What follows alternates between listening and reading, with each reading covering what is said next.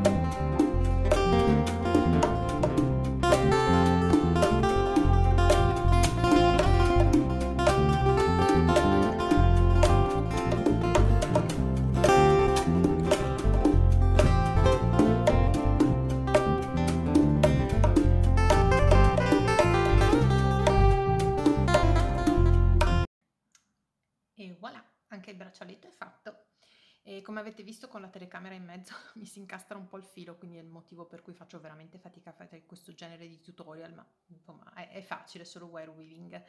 Eh, ho aggiunto anellino, anellino, moschettone e lo stesso di qua, anellino e anellino. Volendo, mm, io ovviamente tendo sempre a non farlo per non avere l'ingombro, si può anche inserire direttamente la catenina se la usate più grande perché su questo spessore non passa eh, direttamente senza avere la congiunzione dell'anellino, quella è una scelta vostra.